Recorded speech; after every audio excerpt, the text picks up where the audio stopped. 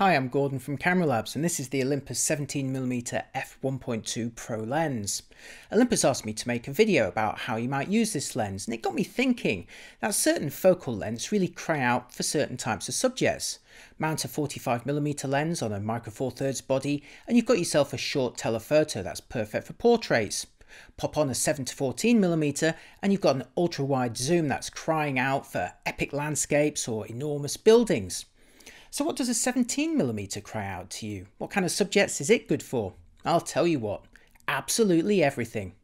17mm on micro four thirds gives you 34mm equivalent coverage. That's wide enough for landscapes, buildings and group shots, but not so wide it suffers from distortion. It can turn its hand to contextual portraits and even macro detail shots. For me, 17mm on Micro Four Thirds is the classic general purpose workhorse, and if I only had one lens to shoot with, it would be this focal length.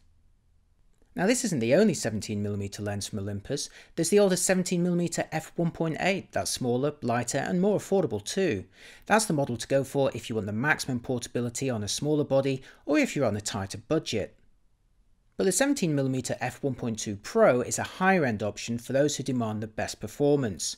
It's the third model in the Olympus f1.2 series, sharing the same weather sealed barrel as the 25mm and 45mm f1.2, and also their manual focus rings which pull back to reveal a distance scale with hard stops. It also features a programmable function button and is supplied with a lens hood. The internal focusing is fast, but the thing that really makes this lens special is the f1.2 focal ratio, joint brightest in the Olympus range. It allows the lens to deliver very shallow depth of field effects while also letting you maintain lower sensitivities or faster shutters in dim conditions. Okay, now for the photos. I took all of the following images with the 17mm f1.2 Pro mounted on an Olympus OMD EM1 Mark II body.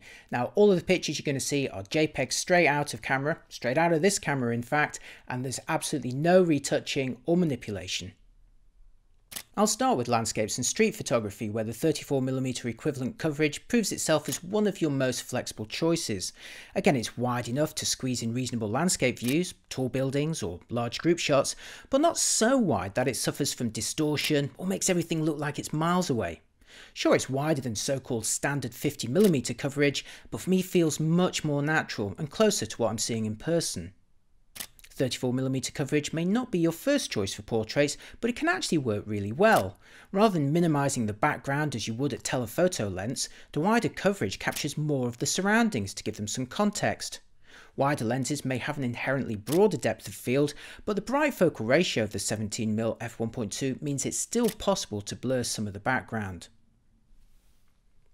The slightly wide coverage also encourages you to get closer to your subjects and move around them for a more interesting angle. I much prefer this approach to shooting with a zoom where it's easy to find your feet apparently glued to the spot, discouraging you from exploring the scene. I particularly enjoy shooting close-ups with large aperture lenses as they let you really concentrate on the details and isolate them against a blurred background. The rendering on the 17mm f1.2 Pro is also very attractive with sharply focused details and smooth blurring. The closest focusing distance of 20 centimeters means you can fill the frame with something as small as a sandwich or a coffee cup.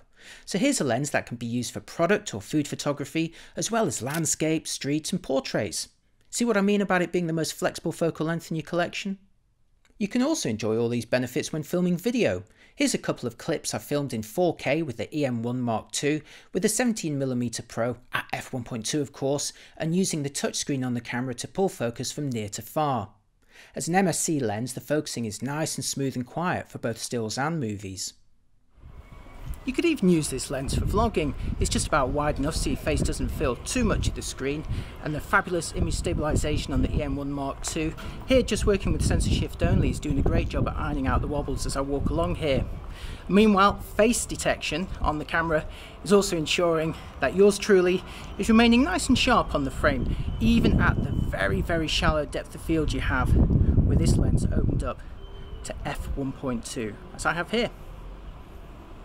The Olympus 17mm f1.2 Pro is an unashamedly high-end lens aimed at those who demand the best performance and the brightest focal ratio at this popular focal length. Personally speaking, I was already a big fan of using 17mm lenses on Micro Four Thirds bodies, but I love the ability to now blur those backgrounds more, achieve those shallower depth of field effects. It's made a flexible lens even more flexible to me, and it's a perfect match for the OMD EM1 Mark II body, which I have it mounted on here. Right, that's it for this video. I hope you enjoyed it. Thanks for watching, and I'll see you next time. Bye bye.